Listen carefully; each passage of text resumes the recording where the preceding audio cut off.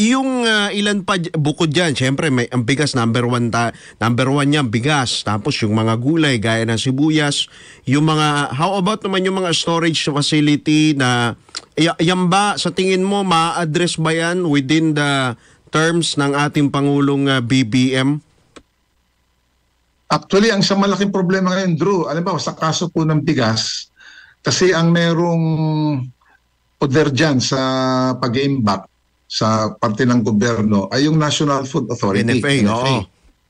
Ah, may storage ko naman, capacity ng NFA. Ang problema, walang, halos wala ng laman Ayun. ang bodega ng NFA kasi lalo na ngayon eh kasi ang, ang bilihan po ng NFA sa ating mga magsasaka ah, assuming na yung Mm. i-deliver po ng palay ay yung tinatawag na clean and dry Mm. tuyo saka malinis 19 peso ah, piso bawat 1 kilo po ng clean and dry na palay ngunit ang umiiral ngayon na bilihan po ng mga private trader ay mga 22 23 Mm.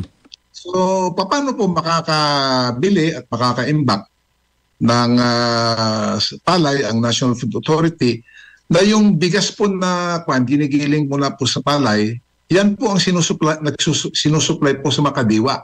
Ayun. O, so, kahit na gusto mong ibaba yung presyo ng bigas, doon sa mga Kadiwa stores, eh kulang na kulang po yung supply mula sa NFA. Mm. Paano ka makakabenta ng mura eh wala ka naman supply? Mm. Mm. Mm. Mm. So isang malaking problema yan. Ah, in other crops naman, like kagaya po ng sibuyas, talagang problema po yung storage. Ah, ah, ah, ah, ah. Oo. So yun, dapat bigyan po ng sapat na atensyon yan.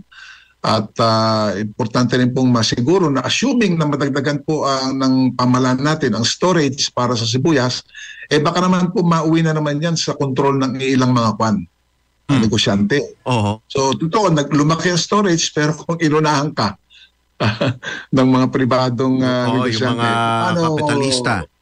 Opo, opo. So, that's another issue. Gumising kasama ang mga bagong-bagong mga balita. Gumising kasama ang mga bagong-bagong impormasyon. Hahataw na, aarangkada na. Kaya tayo na. Dahil buhay na buhay na ang mga dugo ng mga taong maagang gumising. Isisigaw na ang sigaw ng sambayanan.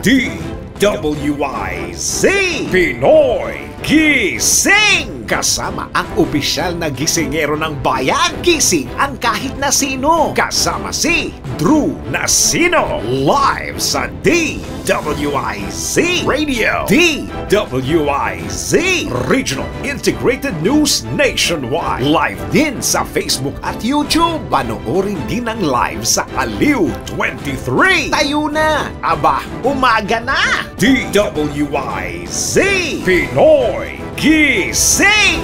Araw-araw, gising! Monday to Friday, 5 a.m.